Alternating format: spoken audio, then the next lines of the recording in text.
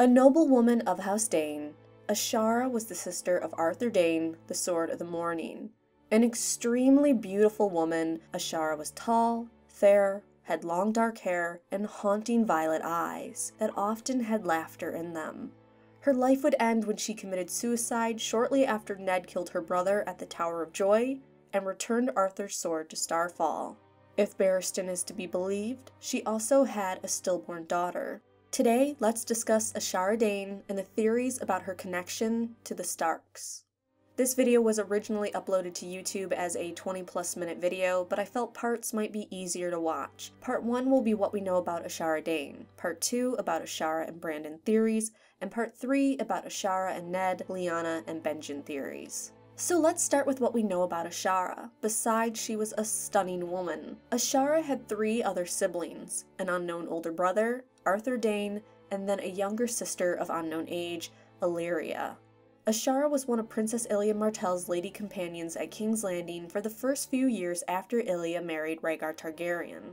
We also know she was at the tourney at Harrenhal in 281 AC, and at the opening feast, she danced with many men, including Barristan Selmy, or one of the Kingsguards, Oberyn Martell, Jon Connington, and Ned Stark the last being so shy he wouldn't leave his bench, and his brother Brandon had to ask Ashara to dance with him.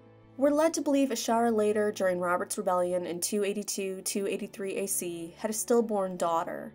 Also in 283 AC, Ned Stark, after killing Ashara's brother Arthur at the Tower of Joy, traveled to Starfall, gave the sword back to the Daynes, and informed them of Arthur's death. Sometime after this, Ashara threw herself from one of the towers of Starfall, the Palestone Sword, located on a cliff overlooking the sea. Her body was never found. Characters in the books have their own thoughts on what happened, and Ashara's name is thought of or brought up in every single book in the series, except for in A Feast for Crows. In A Game of Thrones, we learn that at Winterfell, after Ned's arrival back home from war with Jon in 283 AC, there were whispers about Jon's mother and who she could be. Some thought Ashara Dayne was a likely choice. Catelyn Stark, newly married and not happy to have Ned's bastard at Winterfell, heard the rumors about the Dornish woman and one night in bed asked Ned for the truth. Catelyn claims that was the only time in all their years together her husband had ever frightened her. He told her to never ask about Jon, he is his blood, and then demanded to know where she had heard Ashara's name. From that day on, the whispering stopped, and Ashara Dayne's name was never heard at Winterfell again. Or if her name was mentioned at Winterfell, they made sure Lord Stark never heard it. Later in A Game of Thrones, when Ned confronts Cersei Lannister about Robert's children and the truth about them, she asks Ned about Jon's mother.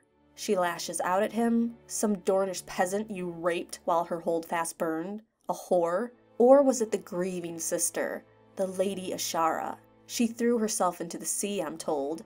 Why was that? For the brother you slew? Or the child you stole? Cersei obviously was trying to hurt Ned and prove to herself and Ned Ned wasn't any more honorable than her. But this still shows that Ashara and Ned connection is rumored about even in the south. Other places besides Winterfell had their tongues wagging about her in relation to the Starks. In A Clash of Kings, Catelyn again thinks of Ashara and that some whisper she is Jon's mother. But Catelyn reasons that the lady is long dead, Ned was also gone, and his loves and secrets had died with him. She feels convinced that Jon's parentage isn't relevant anymore. In A Storm of Swords, Meera Reed tells Bran Stark the story her father Howland Reed told her about the tourney at Harrenhal. This includes Ashara Dayne dancing with many men, including Ned Stark. Later, in A Storm of Swords, Ashara's nephew, Edric Dayne, who goes by the nickname Ned, confirms that Ashara committed suicide because her heart was broken. He is also surprised that Arya Stark had never heard of her. He claims that his aunt Allyria told him that Ashara and Ned met at Harrenhal and fell in love. Afterwards, Harwin tells Arya that Lady Ashara Dayne and Ned is an old tale and one he heard at Winterfell as a boy but he doubts there's any truth to it. Even if there was, it wouldn't matter. There was no dishonor in what Ned did.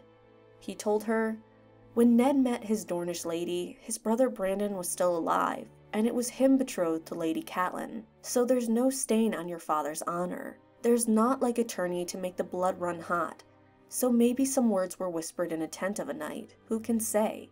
Words or kisses, maybe more. But where's the harm in that? Spring had come, or so they thought, and neither one of them was pledged. He also states that though she did jump into the sea, he believes Ashara killed herself over grief of losing her brother, the Sword of the Morning, not for some love that broke her heart. Lastly, Barristan Selmy's point of view in A Dance with Dragons adds some new intrigue to Ashara. Barristan Selmy was and continues to be in love with Ashara, and through his point of view, we learn he regrets not unhorsing Rhaegar at the tourney at Harrenhal, and not being able to crown Ashara the Queen of Love and Beauty. He feels if he had done that, she might have looked at him instead of a Stark, which Stark isn't specified. He also believes that she killed herself after having her stillborn daughter due to grief over the child she lost, and maybe also in part for the man who had dishonored her at Harrenhal. However, it isn't 100% clear if the man that dishonored her was a Stark. The Stark she looked to could have been a different man than the one that dishonored her, or she looked to a Stark after she was dishonored.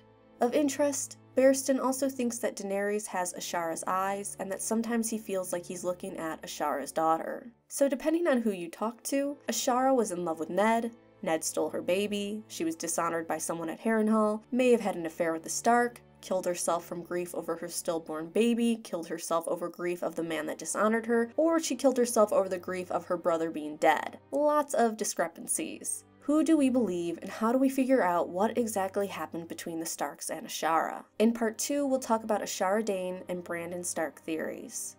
Thank you for watching, thumbs up are greatly appreciated. After parts 2 and 3, I'll release this video as one long video, which might be a terrible, terrible mistake on YouTube. May the tinfoil be with you.